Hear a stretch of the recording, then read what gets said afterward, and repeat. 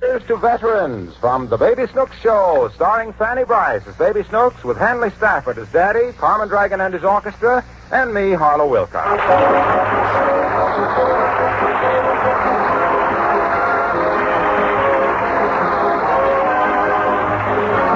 Here's to veterans, the fast-moving quarter hour of entertainment and helpful information brought to you transcribed by the top flight talent of radio in cooperation with the Veterans Administration dedicated to the citizens who served in our armed forces, now working shoulder to shoulder with their fellow Americans to make a stronger and better America for us all.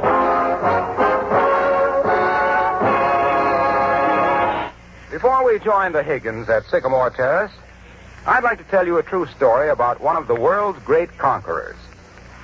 In November 1944, he was paralyzed by a bullet from an enemy sniper.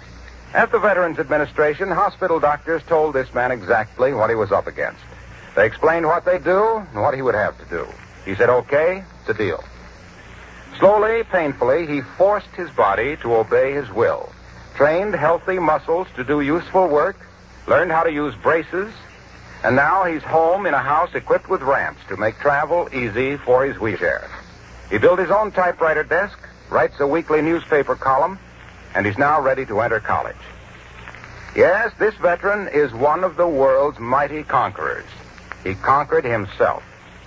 Helped every step of the way by the skill and know-how of the VA's top-notch doctors and nurses, this veteran, this conqueror, is fighting his way back, inch by inch, to useful and self-reliant citizenship.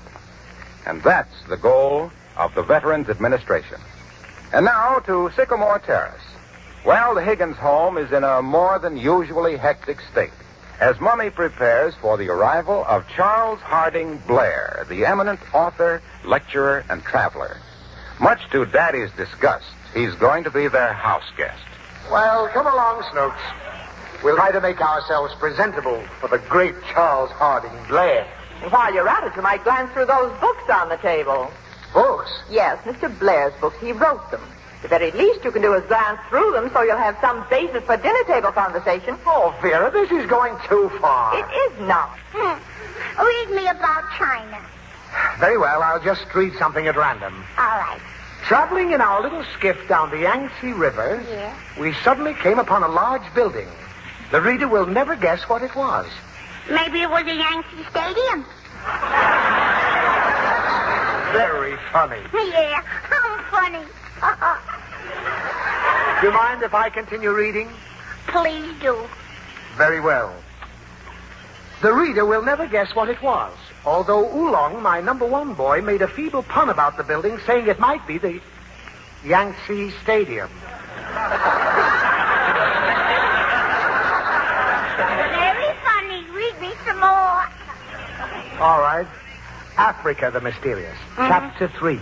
Yeah. Although it was pitch dark out, I suddenly called a halt as I instinctively realized we had reached the banks of the Niassa River. We struck camp early the following day and made our way down the Niassa to Ngagi in the Tata region. What's the matter, Daddy? Nothing, that's what it says here. Oh, I thought your teeth were slipping. Now listen. The third day out, Greps, my number one boy, sighted the Ngagi escarpment. That must be him. Huh? Lancelot, look, it's Mr. Blair. Straighten up this room. Hurry. Here's a comb, Lancelot. Comb your hair. What hair? Oh, dear, I'm so excited I don't even know my own name. Well, it's not Richard. Open the door. Oh, yes. Be still, my heart. Mr. Blair, I take it. So nice to see you. Come in, won't you? You are Mrs. Higgins? Uh, yes. And uh, who, pray, is this? This is my daughter. My advice to you, madam, is not to take her to Africa in the open season. I've hunted things that look better than that. Well, I know she's not pretty, but she's very bright. And well mannered. And this? Uh, my husband, Mr. Higgins. Hmm. Nature, Mrs. Higgins, has indeed been unkind to you. Well, I like that. My luggage is outside, Mr. Higgins. Would you mind? Uh, Lancelot, bring Mr. Blair's luggage in. That's it, dear. well, don't stand there, Lancelot. Hurry. Mr. Blair is tired and wants to change. Hurry, Lancelot. Just call me Oolong. So long, long.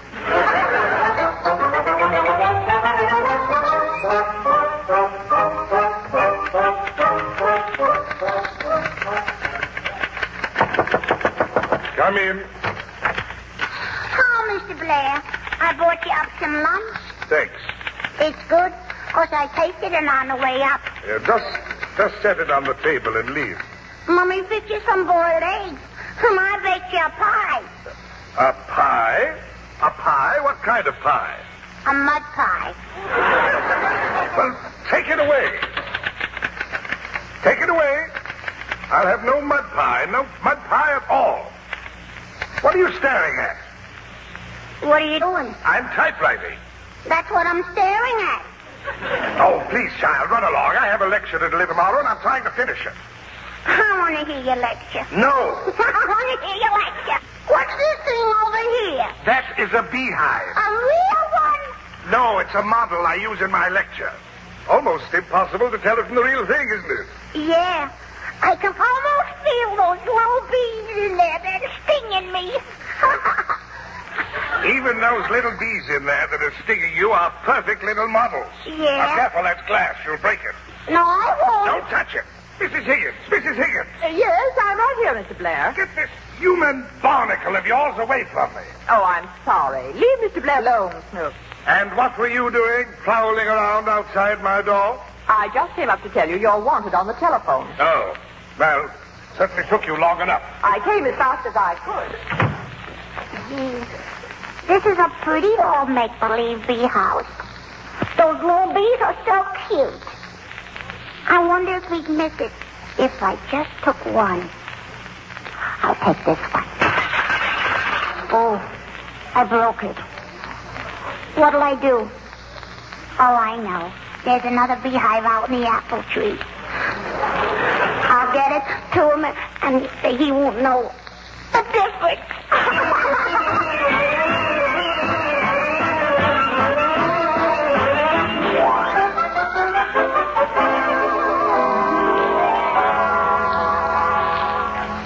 Lancelot, what are you doing in that living room? I just finished cleaning it. It's all right, darling. I'm walking on my hands. Oh, Lancelot, isn't it thrilling? What? Charles Harding Blair has decided to stay another week with us. That's the best news I've had since I got my finger caught in the lawnmower. And guess what else, Lancelot? Mr. Blair is giving a preview of his lecture right in our home this afternoon. Stupendous. I'm having a luncheon for all the women in the ladies' auxiliary, and you can help. I've got news for you, Vera. I won't be here.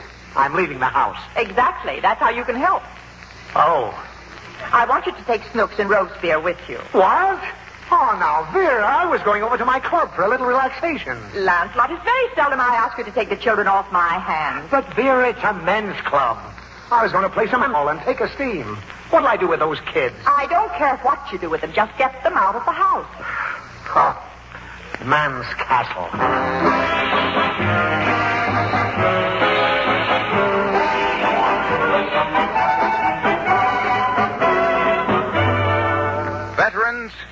Comes to spending your money on life insurance, you have the last word. What kind and how much of it you carry is your business. However, when so many experts agree the National Service Life Insurance is such a good deal, the advice of the Veterans Administration seems more than reasonable. That advice is simply this. If you have dropped your GI insurance, get all the facts about it right now. After you have the whole story, you probably can get your GI insurance back if you want it. The surest way to get the full story about National Service Life Insurance is to ask the VA or the insurance men cooperating with the VA. Then you can decide what to do. Remember that a sound life insurance program is an asset to yourselves, your families, and your communities. It's the badge of responsible citizenship. No veteran can afford to plan a life insurance program without taking a careful look at National Service Life Insurance. It was provided especially for you and your comrades in uniform by Congress and a grateful nation.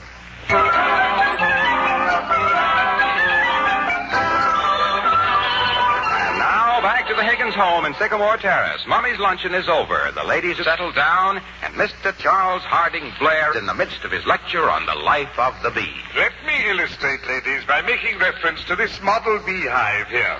Looks almost real, doesn't it? it, uh, it has a hinge somewhere along here. Where is that thing? Be careful, Mr. Blair. There's a bee crawling on your hand. Now, now, now, let's not let our imaginations run away with us. These are just imitation bees. They. Ah! Ah! What's that? Oh, Doctor, no! Doctor, no! They're real.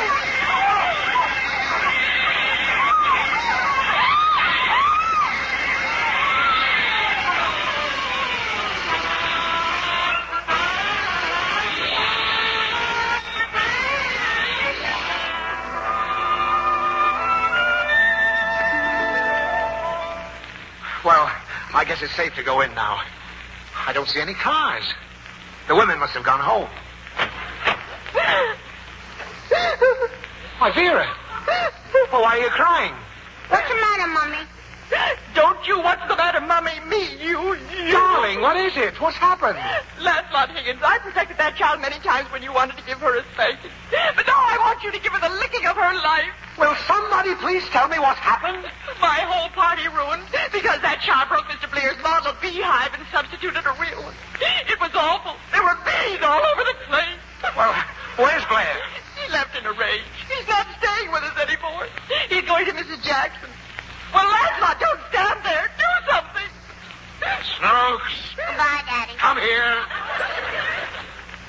Leave the room, Vera. This is not going to be pretty.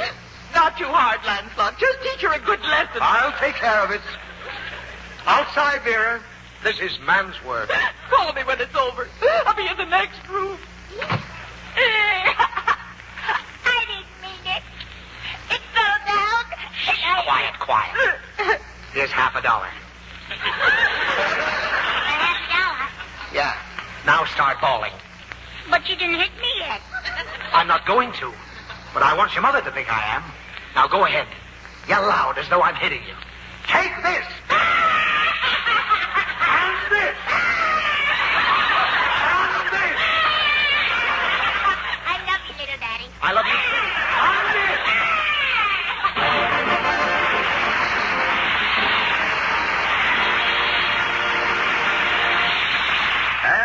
The Here's to Veterans tribute from the Baby Snooks show, starring Fanny Brice as Baby Snooks with Hanley Stafford as Daddy, Arlene Harris, Alan Reed, the music of Carmen Dragon and his orchestra, and me, Harlow Wilcox, who, with your sponsor and the American Federation of Musicians, the American Federation of Radio Artists, the Advertising Council, and this station, have donated their services and time to the Veterans Administration as public service. Tune in again for another star-studded Here's to Veterans show. And remember, veterans, for advice and help with your insurance, education, loans, medical care, and other benefits, write or visit your nearest Veterans Administration office. Remember, a well-adjusted veteran means a happier and more prosperous America. And now a word from your local announcer.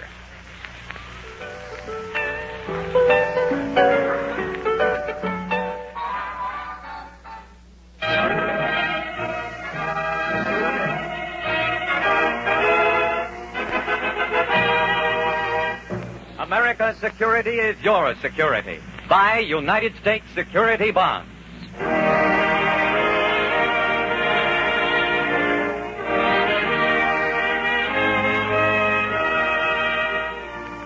How do you do, ladies and gentlemen? This is Win Elliott, your host for Guest Star, a transcribed feature program brought to you by United States Security Bonds and this station as a public service. For a secure home in a secure country, invest now in United States Security Bonds. Like 80 million of your neighbors, become a stockholder in America. Our guest today is one who's been known to theater audiences since before the beginning of radio. Here she is in her famous characterization of Baby Snooks, assisted by Hanley Stafford as Daddy, Miss Fanny Brice. Toreador, oh, Toreador. Snooks, we're going to have a great adventure in music this evening. I'm taking you to the opera. Oh, I want to go see the movie. Nonsense. You'll love the opera. It's colorful and exciting. Well, I ain't excited. Well, listen to what you're going to hear. Just listen. A toreador, oh, toreador. Well, does that convince you? Yeah. I want to go to the movies. That's the attitude I'd expect from you. Don't you know why I'm taking you to the opera? Cause you got two free tickets. Oh, that'll do. Look, we're to the opera, and that's final. Now, go put on your best dress and find my top hat. But There'll be no buts about it. I want to see you down here in ten minutes with your coat and my top hat. can I wear my own hat? Very funny. Run along. All right, Daddy.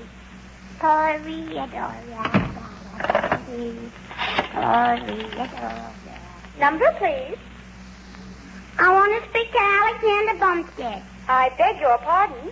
I want to ask him what he did with my daddy's top hat. I'm sorry. I'll connect you with information. All right.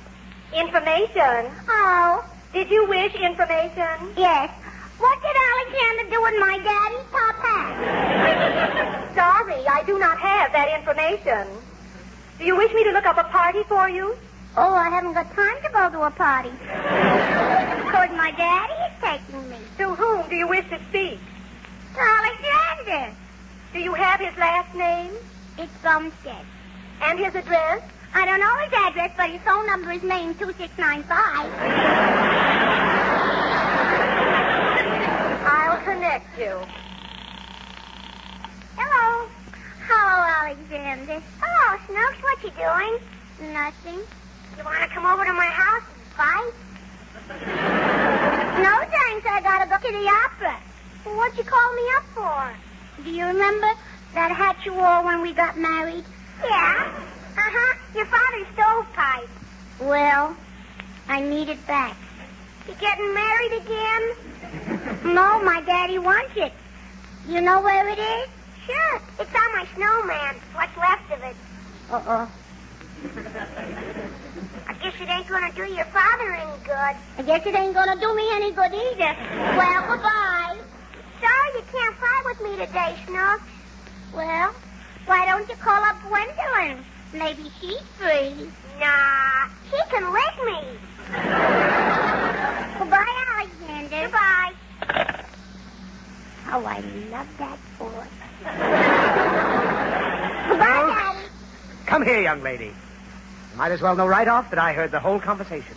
And I know all about what happened to my top hat. Shall I turn over, Daddy? No, this time I won't spank you. Do you feel all right? Of course I do.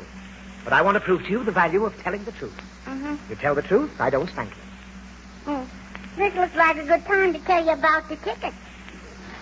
The opera tickets? Uh-huh. Robespierre chewed up one of them. Pitfalls? yeah. Whatever made him do that? He saw me chew up the other one. there. I told the truth again. Snooks, those were box seats you chewed up. Daddy, you're taking off your belt. You're going to spank me. You told the truth again. Can't we buy new tickets? Yes, but not in the same place. Bend over, Snooks. This is going to hurt me worse than it hurt you. Yes, but not in the same place.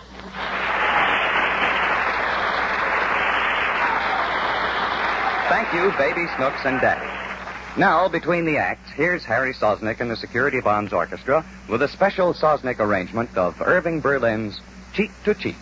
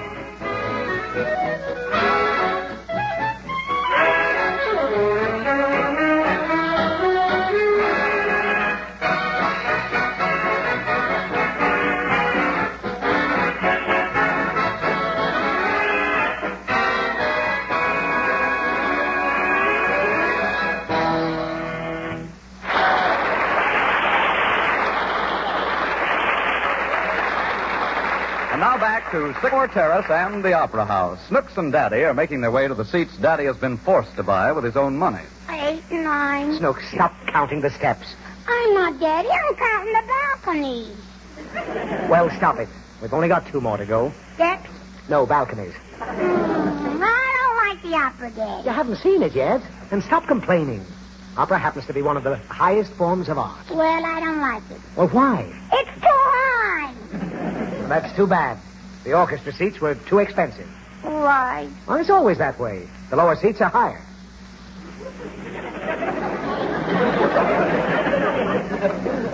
The lower seats are higher? Yes.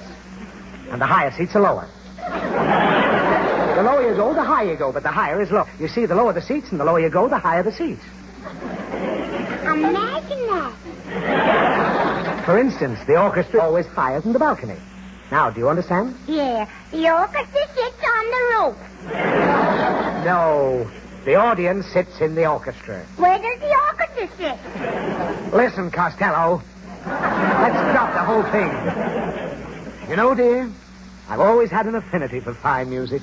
Yes. The last time I was at the opera, I was single. I brought your mother here. Oh, what a beautiful memory. The opera? No, being single. oh, come on, Snooks. The curtain's going up. This is where our seats are. I don't see our seats. Well, they're not reserved. You sit anywhere you want to. Anywhere I want to? Yes. Get off that lady's lap. But you said Never mind. quiet. Pianissimo, please. Oh, the opera's starting. Look, uh, maybe we can get a couple of single seats. There's an empty one right there in front. Oh, yes. And there's another empty one way up behind that post. Ah. Well, looks as if one of us is going to sit behind a post. I wonder which one. No, you don't think I take advantage of you just because you're a child, do you? Well, do you? Don't I? All right, I'll leave it up to you. Sit in whichever seat you want to. I'll sit right down here. On the other hand, Snooks, you have better eyes than I have. You have a longer neck than I. For that remark, you can go sit behind the post. That's my daddy. Go ahead. I'll see you during the intermission. Quiet. Pianissimo, please. Uh, excuse me. Excuse me. Oh, thank heavens I'm rid of her. Now I can enjoy the opera in peace. Daddy! Oh, no, not that. Yoo-hoo! I'll ignore her. Is that brat your daughter? No, yes, I am. Will you please shut her up? you shut her up. You shut her up or I'll shut you up. Pianissimo, please. Whatever it is, it can wait. am. No, it can't. Oh. I want a glass of water. Well, come on down and sit on my lap. Sorry I brought you here in the first place. This is a wonderful opera, Daddy. What is it? It's Aida, can't you hear? Don't you see that foreign setting? Yeah. The elephant will appear any minute. There's one now. That's Signor Scalapini. He's the man you're going to sing for later. Listen to that voice. Someday you might grow up to be just like him. Hmm, that's good. Oh, you like the idea. Yeah, I always wanted to be a fat man with a beard. Be quiet. Look, there's another elephant. That's the prima donna. They call her the Canary of the West. Why? Well, she sings like a canary. She looks like a canary.